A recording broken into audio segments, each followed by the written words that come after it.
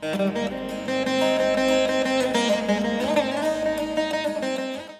അമൃതേശ്വരേ നമ. ശ്രീ ലളിതാ സഹസ്രനാമത്തിൽ അഞ്ഞൂറ്റി എഴുപത്തി ആറാമത്തെ നാമമാണ് മത്തായി നമ എന്നുള്ളത്. മാധ്വീപാനാലസ മത്ത മാതൃകാ വർണരൂപിണി എന്നാണ് ഈ സ്തോത്രഭാഗം. മത്തയാണ് ദേവി എന്നാണ് ഇതിൽ പറയുന്നത്. ദേവി തന്റെ ഉള്ളിലുണ്ടാകുന്ന ആനന്ദാമൃതം കൊണ്ട് പരിപൂരിതയാണ്. ആ ആനന്ദം കൊണ്ടാണ് മത്തയാകുന്നത് എന്ന് നേരത്തെ പറഞ്ഞു. ബ്രഹ്മനിഷ്ഠന്മാരെ പറ്റിയിട്ട് കൈവല്യ നവനീതം എന്നുള്ള പുസ്തകത്തിൽ നാല് വിഭ നാല് തരത്തിലാണ് അവർ എന്ന് പറയുന്നു. ബ്രഹ്മവിത്ത് ബ്രഹ്മവിത്ത് വരൻ ബ്രഹ്മവിത്ത് വരീയൻ ബ്രഹ്മവിത്ത് വരിഷ്ഠൻ എന്ന് നാല് രീതിയിലാണ് അവർ കാണപ്പെടുന്നതെന്നാണ് പറയുന്നത്.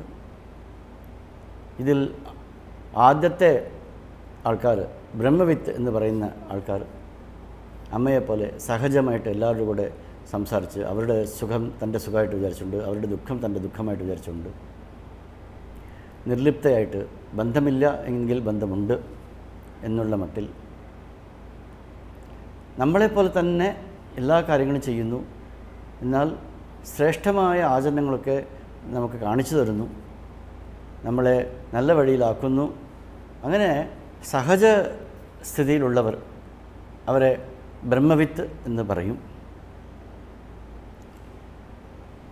ബ്രഹ്മവിത്ത് വരൻ വരീയൻ വരിഷ്ഠൻ എന്നുള്ളത് മറ്റൊരു മറ്റുള്ള വിഭാഗമാണ്.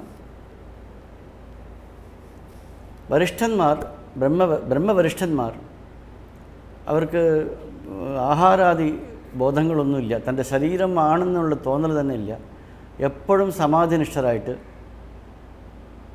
മറ്റുള്ളവർ കഴിപ്പിച്ചാലും കൂടി കഴിപ്പിക്കാൻ കഴിക്കാത്ത ഒരു തരം ആൾക്കാരാണ് ബ്രഹ്മവരിഷ്ഠന്മാർ.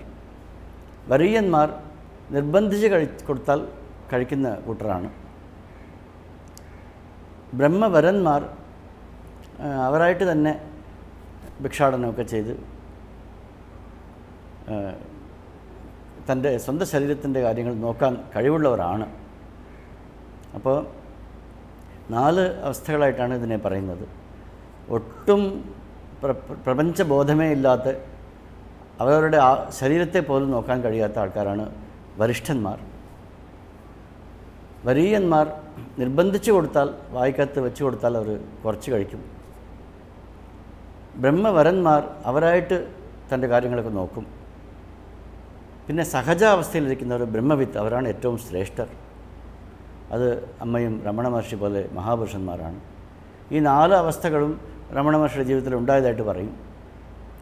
രമണ മഹർഷി തിരുവണ്ണാമല ചെന്ന ആദ്യത്തെ കാലഘട്ടത്തിൽ ഒരു പാതാള ലിംഗേശ്വര ക്ഷേത്രത്തിൽ ഇരിക്കുന്നുണ്ടായിരുന്നു. ആരും കാണാതെ അനങ്ങാതെ ഇരിക്കുകയാണ്. ആരും അറിഞ്ഞിട്ട് കൂടിയില്ല. ജന്തുക്കളൊക്കെ കാലിൽ കടിച്ചിട്ടുണ്ട്. ഭക്ഷണവും സ്വീകരിച്ചിട്ടില്ല. കുറേ കാലം കഴിഞ്ഞപ്പോൾ ഒരു സാധു അദ്ദേഹത്തെ കണ്ടിട്ട് അദ്ദേഹത്തെ അഞ്ചാറ് പേർ കൂടി പൊക്കിക്കൊണ്ടുവന്ന് പുറത്ത് വയ്ക്കുകയാണ് ചെയ്തത്. അങ്ങനെ അങ്ങനെയുള്ള ഒരു നിഷ്ഠ തന്റെ ശരീരം പോലും മറക്കുന്ന ഒരു രീതി. അങ്ങനെയുള്ള മഹാപുരുഷന്മാർ ഉണ്ട്. അവരെ ബ്രഹ്മവരിഷ്ഠന്മാർ എന്ന് പറയും. പിന്നീട് അവർ രമണ മഹർഷിക്ക് വായിൽ ചോറ് വെച്ച് കൊടുക്കും. രണ്ട് മൂന്ന് കവിൾ കഴിക്കും. ശരീരത്തിന് ആവശ്യത്തിൽ അധികമായി കഴിഞ്ഞാൽ അത് അവിടെ തന്നെ ഇരിക്കും. പിറ്റേ ദിവസം വന്നത് എടുത്ത് കളയണം. എന്നിട്ട് അങ്ങനത്തെ അവസ്ഥയിൽ ബ്രഹ്മവരീയൻ എന്ന് പറയും ഇതിനെ. അങ്ങനത്തെ അവസ്ഥയിൽ കുറേ നാളുണ്ടായിരുന്നു. പിന്നെ പാൽ ഒഴിച്ചു കൊടുക്കും. അത് കുറച്ച് കുടിക്കും പിന്നെ ബാക്കിയുള്ളത് വായിൽ തന്നെ ഇരിക്കും. അപ്പോൾ തന്റെ സ്വബോധം ശരീരബോധമേ ഇല്ലാത്ത ഒരാണ് ബ്രഹ്മവരീയന്മാർ ബ്രഹ്മവരിഷ്ഠന്മാർ. അതുപോലെ കുറച്ച് കഴിഞ്ഞ് മുകളിലേക്ക് മുലപ്പാൽ തീർത്ഥം എന്ന് പറയുന്ന സ്ഥലത്തേക്ക് അദ്ദേഹം എത്തി. അവിടെ സ്വയം കുളിക്കും നാട്ടിൽ ചെന്ന് കരതല ഭിക്ഷയൊക്കെ ചെയ്യും. അപ്പോഴും മിണ്ടുന്നൊന്നുമില്ല. അങ്ങനെയുള്ള അവസ്ഥ ബ്രഹ്മവരന്മാർ എന്ന് പറയും. പിന്നീട് സ്കന്ധാശ്രമത്തിൽ പോയിട്ട് പിന്നെ രമണാശ്രമത്തിലൊക്കെ വന്നു അത്ര. ആ സമയത്ത് ദക്ഷിണാമൂർത്തി സ്തവം എന്നുള്ള സ്തോത്രത്തിനൊക്കെ വ്യാഖ്യാനം എഴുതി വിവേക ചൂടാമണിക്ക് വ്യാഖ്യാനം എഴുതി സ്വന്തം കൃതികൾ എഴുതി സമയമായാൽ പോയി ഭക്ഷണം കഴിക്കും. എല്ലാവരും കൂടെ അനാവശ്യ സംസാരമുണ്ടെന്നല്ല അത്യാവശ്യത്തിന് സംസാരിക്കുന്ന സ്വഭാവമുണ്ട്. അങ്ങനെ സഹജാവസ്ഥയിലെത്തി. ഇങ്ങനെ നാല് രീതിയിലാണ് ലോകത്തിൽ മഹാപുരുഷന്മാർ കാണപ്പെടുന്നത്. ഒരാൾ സംസാരിച്ചു ഒരാൾ സംസാരിച്ചില്ല. അവരെ ഇവരെ നമ്മൾ താരതമ്യപ്പെടുത്തേണ്ട ആവശ്യമില്ല. ആരാണ് വലുത് എന്നൊന്നും നമ്മൾ നോക്കേണ്ട ആവശ്യമില്ല. നമുക്ക് അവരുടെ ഉപദേശം കൊണ്ട് എന്താ ഗുണമുണ്ടാവുക എന്നുള്ളതാണ് നമ്മൾ നോക്കേണ്ടത്. അപ്പോൾ ദേവി മത്തയാണ് എന്ന് പറഞ്ഞു. തന്റെ സ്വാനന്ദം തന്റെ ഉള്ളിലുള്ള ആനന്ദം കൊണ്ട് അതിൽ അതിൽ മത്തയാണ് ദേവി. ഭക്തി കൊണ്ട് മത്തരായ ജനങ്ങളാണ് ചൈതന്യ മഹാപ്രഭു ശ്രീരാമകൃഷ്ണ പരമഹംസർ മുതലായവർ ഭക്തി കൊണ്ട് പരവശനായിട്ട് മത്തനെ പോലെ നൃത്തം കുതിക്കണമെന്ന് ഞാനപ്പാനയിൽ പറയുന്നു. അപ്പോൾ കാശി ഒരു സദാശിവ ബ്രഹ്മേന്ദ്രൻ എന്നുള്ള മഹാപുരുഷനുണ്ടായിരുന്നു അദ്ദേഹം ആദ്യം ഒരുപാട് സംസാരിക്കുന്ന തർക്കിക്കുന്ന ഒരു സ്വഭാവം ഉണ്ടായിരുന്നു. അദ്ദേഹത്തിന്റെ ഗുരുവിനെ കണ്ടു. മിണ്ടാതിരിക്കും എന്ന് പറഞ്ഞു. കാരണം തർക്കിക്കും അവരെ തോൽപ്പിക്കും അവരെ അപമാനിപ്പിക്കും അപമാനിക്കും. അപ്പോൾ മറ്റുള്ളവരൊക്കെ ഇങ്ങനെ ഒരുപാട് ബുദ്ധിമുട്ടിച്ചു തുടക്കത്തിൽ. വലിയ പണ്ഡിതനാണ് പക്ഷേ ഇങ്ങനത്തെ സ്വഭാവ സ്വഭാവം ഉണ്ടായിരുന്നു. ഒരുപാട് പാട്ടുകളൊക്കെ എഴുതിയിട്ടുണ്ട്. അദ്ദേഹത്തിന്റെ ഗുരു പറഞ്ഞു ഇനി മിണ്ടാതിരിക്കുമെന്ന് പറഞ്ഞു. അത് അത് മഹാവാക്യ ഉപദേശം പോലെ അദ്ദേഹം സ്വീകരിച്ചു. പിന്നെ ജീവിതത്തിൽ മിണ്ടിയിട്ടില്ല. കുറച്ച് കഴിഞ്ഞപ്പോൾ അവധൂത അവസ്ഥയിലായി.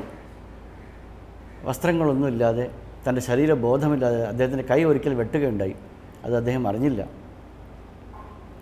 അങ്ങനെ ദിഗ്വസ്ത്രധാരിയായിട്ട് പുല്ലുകളുടെ ഇടയ്ക്കൊക്കെ നടക്കുന്നതും ജലത്തിന്റെ ഉള്ളിൽ പോയി സമാധിയിലിരിക്കുന്നതും ഒക്കെ അദ്ദേഹത്തിന് പതിവുണ്ടായിരുന്നു. അപ്പോൾ ഈ അവസ്ഥ കണ്ടിട്ട് അദ്ദേഹത്തിന് അവരുടെ ശിഷ്യന്മാരൊക്കെ ചെന്ന് ഗുരുവിന്റെ അടുത്ത് പറഞ്ഞു മഹാദേവേന്ദ്ര സരസ്വതി അദ്ദേഹത്തിന്റെ പേര്.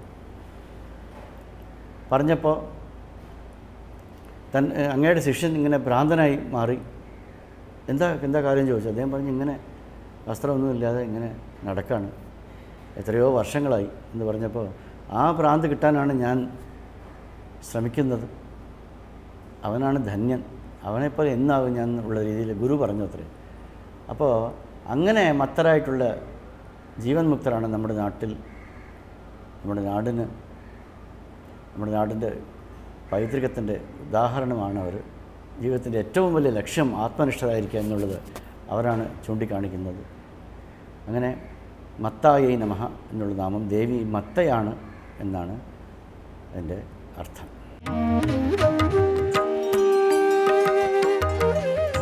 എല്ലാവർക്കും നമസ്കാരം. ശ്രീമൽ ഭാഗവതത്തിൽ തൃതീയ സ്കന്ധത്തിൽ ഇരുപത്തി ആറാമത്തെ അധ്യായമാണ് നമ്മളിപ്പം ചിന്തിക്കുന്നത്. ഇരുപത്താറാമത്തെ അധ്യായത്തിൽ മുപ്പത്തി ആറാമത്തെ ശ്ലോകം വരെ നമ്മൾ ചിന്തിച്ചു വെച്ചു. ഇനി മുപ്പത്തി ഏഴാമത്തെ ശ്ലോകത്തിലേക്ക് പ്രവേശിക്കാം. ആ ശ്ലോകത്തെ ആദ്യം പരിചയപ്പെടാം. ചാലനം വ്യൂഹനം പ്രാപ്തി നേതൃത്വം ദ്രവ്യശബ്ദയോ സർവേന്ദ്രിയാണാം ആത്മത്വം വായോ കർമാഭിലക്ഷണം. ഇനി ശ്ലോകത്തിന്റെ അർത്ഥത്തെ ചിന്തിക്കാം. അപ്പോൾ ആകാശത്തിൽ നിന്ന് സ്പർശം എന്ന ഗുണമുണ്ടായി അല്ലെങ്കിൽ സ്പർശം എന്ന തന്മാത്രയുണ്ടായി സ്പർശം എന്ന ഭൂതസൂക്ഷ്മത്തിൽ നിന്ന് സ്ഥൂലഭൂതമായ വായു ഉണ്ടായി. ഇനി ഉണ്ടായി എന്ന് പറഞ്ഞു. അവിടെ ഭൂതസൂക്ഷ്മമായ സ്പർശത്തിന്റെ ഗുണം കഴിഞ്ഞ ശ്ലോകത്തിൽ പറഞ്ഞു വെച്ചു. ഇനി സ്ഥൂലഭൂതമായ വായുവിന്റെ ലക്ഷണങ്ങളെ ഈ ശ്ലോകത്തിൽ പറയുകയാണ്. എന്തൊക്കെയാണ് വായുവിന്റെ ലക്ഷണങ്ങൾ?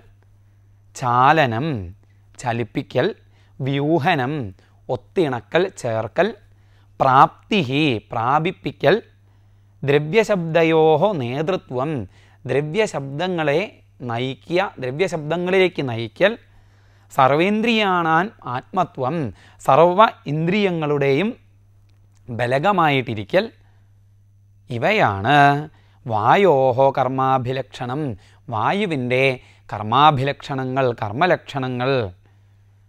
അപ്പോൾ എന്തൊക്കെയാണ്? ചാലനം ചലിപ്പിക്കുക. ഇവിടെ ഈ ദ്രവ്യങ്ങളെയൊക്കെ ചലിപ്പിക്കുന്നു വായു. വസ്തുക്കൾ കൂട്ടിയിട്ടതിൽ വായു പ്രവേശിക്കുന്ന സമയത്ത് അത് ചലിക്കുന്നു. ഈ ചലിപ്പിക്കുന്ന വായു തന്നെ വ്യൂഹനം കൂട്ടിച്ചേർക്കുകയും ചെയ്യുന്നു. പല ഭാഗത്ത് നിൽക്കുന്ന വസ്തുക്കളെ ഒരുമിച്ച് ചേർക്കുന്നു വായു. കാറ്റടിക്കുന്ന സമയത്ത് വേർപെടുകയും ചെയ്യുന്നു കൂടിച്ചേരുകയും ചെയ്യുന്നു. അപ്പോൾ ചാലനം വ്യൂഹനം ചലിപ്പിക്കുക അതേപോലെ കൂട്ടിച്ചേർക്കുക പ്രാപ്തി. വളരെ ദൂരത്തിലുള്ള ഒന്നിനെ നമ്മൾക്ക് പ്രാപിപ്പിക്കുക നമ്മളുടെ അടുത്തേക്ക് കൊണ്ടുവരിക. പിന്നെ നേതൃത്വം. ഇതേ വായു നമ്മളെ വിഷയങ്ങളിലേക്ക് നയിക്കുന്നു. ഇന്ദ്രിയങ്ങളെ വിഷയങ്ങളിലേക്ക് നയിക്കുന്നു. ആയത് നേതൃത്വം. പിന്നെ സർവേന്ദ്രിയാണാം ആത്മത്വം. സർവ ഇന്ദ്രിയങ്ങളുടെയും ആത്മത്വം സർവ ഇന്ദ്രിയങ്ങൾക്കും ബലകമായിട്ട് വർത്തിക്കുക. പ്രാണരൂപേണ സർവ ഇന്ദ്രിയങ്ങളെയും പ്രവർത്തിപ്പിക്കുന്നത് വായുവാണ്. ഇതൊക്കെയാണ് വായുവിന്റെ ലക്ഷണങ്ങൾ എന്നിങ്ങനെ സ്ഥൂലഭൂതമായ വായുവിന്റെ ലക്ഷണങ്ങളെ അവിടെ പറഞ്ഞു വെച്ചു. വായുവിന്റെ സൂക്ഷ്മ ഭാവമായ സൂക്ഷ്മഭൂതമായ സ്പർശത്തിന്റെ ലക്ഷണങ്ങൾ കഴിഞ്ഞ ശ്ലോകത്തിൽ പറഞ്ഞു. ഇനി ഈ വായുവിൽ നിന്ന് അടുത്ത ഭൂതം ഉണ്ടായി അടുത്ത തന്മാത്രയും ഭൂതവും ഉണ്ടായി എന്ന് പറയുകയാണ് അടുത്ത ശ്ലോകത്തിൽ. ആ ശ്ലോകത്തെ നമുക്കൊന്ന് ചിന്തിക്കാം. മുപ്പത്തി എട്ടാമത്തെ ശ്ലോകത്തെ. വായോശ്ച സ്പർശതന്മാത്രാത് രൂപം ദൈവേരിതാദഭൂത സമുത്ഥിതം തതസ്തേജ ചക്ഷൂരൂപോപലംബനം ശ്ലോകത്തിന്റെ അർത്ഥത്തിലേക്ക് വരാം. സ്പർശതന്മാത്രാത് സ്പർശഗുണത്തോടു കൂടിയ വായോഹോ ച വായുവിൽ നിന്ന് ദൈവേരിതാത് ഈശ്വരപ്രേരണയാൽ രൂപം രൂപതന്മാത്രം ഉണ്ടായി രൂപതന്മാത്ര ഉണ്ടായി. രൂപതൻ രൂപം അഭൂത് രൂപതന്മാത്രയുണ്ടായി. ആ രൂപതന്മാത്രയിൽ നിന്ന് ഈ രൂപതന്മാത്രയുടെ സ്ഥൂലരൂപമായ തേജസ് അഗ്നി ഉണ്ടായി. തേജ സമുത്ഥിതം ഉത്ഭവിച്ചു. രൂപോപലംബനം രൂപത്തെ ഗ്രഹിക്കുന്നത് ചക്ഷുഹു ചക്ഷുസാണ് കണ്ണാണ്. നേരത്തെ സ്പർശത്തെ ഗ്രഹിക്കുന്ന ഇന്ദ്രിയം ത്വക്കാണെന്ന് പറഞ്ഞതുപോലെ ഇവിടെ രൂപത്തെ ഗ്രഹിക്കുന്ന ഇന്ദ്രിയം എന്താകുന്നു? ചക്ഷുസ്സാകുന്നു അപ്പം സ്പർശം എന്ന തന്മാത്രയോട് കൂടിയ വായുവിൽ നിന്ന് ഈശ്വരേച്ഛ നിമിത്തം രൂപം എന്ന തന്മാത്ര ആവിർഭവിച്ചു. അതിൽ നിന്ന് തേജസ് എന്ന ഭൂതം ഉണ്ടായി. ഈ രൂപത്തെ അനുഭവിക്കുന്ന ഇന്ദ്രിയം ചക്ഷുസ്സാണ് കണ്ണാണ്. എന്നിങ്ങനെ അഗ്നിയുടെ വായോരഗ്നി വായുവിൽ നിന്ന് അഗ്നിയുണ്ടായി എന്നതിനെ പറഞ്ഞു. അപ്പോൾ അഗ്നിക്ക് ശബ്ദം സ്പർശം എന്നീ ഗുണങ്ങളുടെ ചേർച്ചയുണ്ട്. അഗ്നിയുടെ ഗുണമായിക്കൊണ്ട് എന്തൊന്ന്? രൂപം എന്നത്. ഇനി അഗ്നിയുടെ സൂക്ഷ്മ ഭൂതമായ രൂപത്തിന്റെ ലക്ഷണങ്ങളെ സ്ഥൂലഭൂതമായ അഗ്നിയുടെ ലക്ഷണങ്ങളെ ഒക്കെയാണ് അടുത്ത ശ്ലോകങ്ങളിൽ പറയുന്നത്. അത് നമുക്ക് അടുത്ത എപ്പിസോഡുകളിൽ കേൾക്കാം. അല്ല, പ്രപഞ്ചത്തിൽ ശാന്തി വ്യാപിക്കുന്നു എന്ന് നമ്മൾ ധ്യാനിക്കുമ്പോൾ നമ്മൾ ശാന്തി ആദ്യം അനുഭവിക്കുന്നു. മറ്റൊരാളെ നമ്മൾ സ്നേഹിക്കുമ്പോൾ ആ സ്നേഹത്തിന്റെ മാധുര്യം നമ്മൾ ആദ്യം ആസ്വദിക്കുന്നു. ഇപ്പോൾ പലപ്പോഴും അമ്മമാർ കൊച്ചുകുട്ടികൾക്ക് ആഹാരം കൊടുക്കുമ്പോൾ അവർക്ക് ഏറ്റവും ഇഷ്ടപ്പെട്ട ആഹാരം അവർ കഴിക്കാതെ കുഞ്ഞിന് കൊടുക്കുന്നു. ആ കുഞ്ഞ് കഴിക്കുന്നത് കാണുമ്പോൾ ആ അമ്മ അനുഭവിക്കുന്ന ആ മാധുര്യം അല്ല അതിന്റെ താൻ സ്വയം കഴിച്ചാൽ കിട്ടുന്ന ആനന്ദത്തെക്കാൾ കൂടുതലാണ്. ആ കുഞ്ഞ് കഴിക്കുന്നത് കാണുമ്പോൾ അമ്മയ്ക്ക് അനുഭവിക്കാൻ കഴിയുന്ന ആനന്ദം.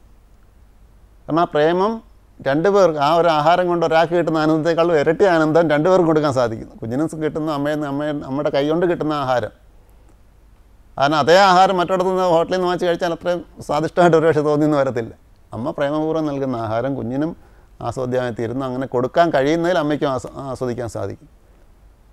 അപ്പോൾ അതേപോലെ നമ്മളുടെ എല്ലാ മനുഷ്യനുമായിട്ടുള്ള എല്ലാ ഇടപാടുകളിലും പ്രകൃതിയുമായിട്ടുള്ള എല്ലാ ഇടപാടുകളിലും ഇങ്ങനെ ഒരു ആസ്വാദ്യത ഉണ്ടാവണം ജീവിതം നമുക്ക് സന്തോഷിക്കാനുള്ളതാണ്. ഈ ഒരു അല്പസമയം ഈ ഭൂമിയിൽ വന്നു.